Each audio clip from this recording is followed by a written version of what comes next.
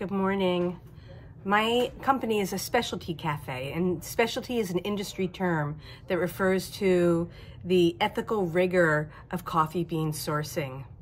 Specialty coffee does, is not purchased on the commodity market or C market. It's purchased through direct trade relationships or a green broker. The purchase is traceable by date, lot, elevation, quality, quantity, and the per pound living wage that was paid for that lot, thus ensuring both workers' wage conditions and the quality of the bean. My company focuses on sustainability up and down the supply chain. We are one of the inaugural 100 businesses in the U.S. to become living wage certified guaranteeing employees a basic living wage of $22.20 an hour. This designation is independently audited annually to confirm compliance with the standards.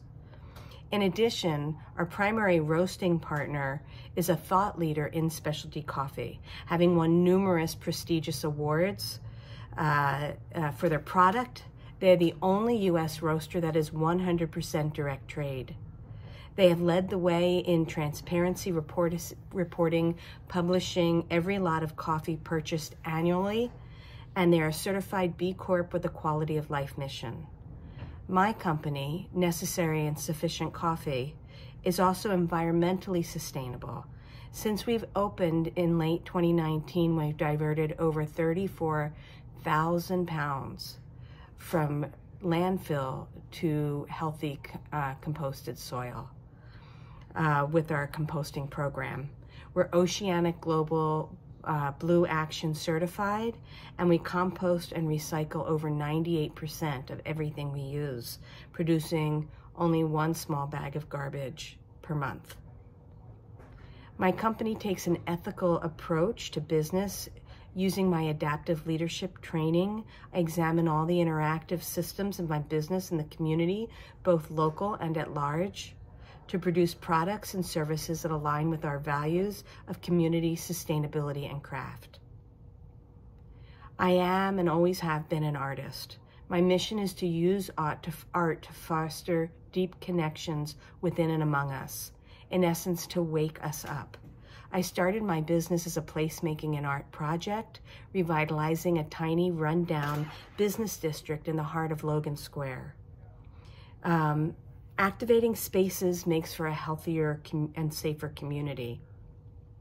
At a time when the political divisiveness was at its worst, my response to not being a helpless bystander was to find a way to foster these deep connections. In that regard, the business has been successful, transforming the neighborhood, building connections, creating a healthy business corridor. And I'm proud to report that last year, three new women owned businesses opened on my block as a result of our work um, I should be awarded this grant because I'm a job creator. I foster healthy community connection in art, business, and life. In 2020, instead of shutting down, we shifted our operation to include basic groceries and produce boxes for the community. We partnered with nonprofits to provide to those with food insecurity, and we helped our employees remain safely employed. We created additional industry positions within our cafe to support our industry workers and leaders, including education leads, social media creative, cafe management, and training programs. Uh, I want to just say thank you for creating this grant program and providing the opportunity for me to apply.